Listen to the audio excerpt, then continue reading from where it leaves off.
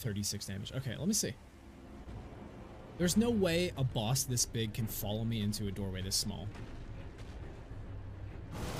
Holy mother of God. Okay.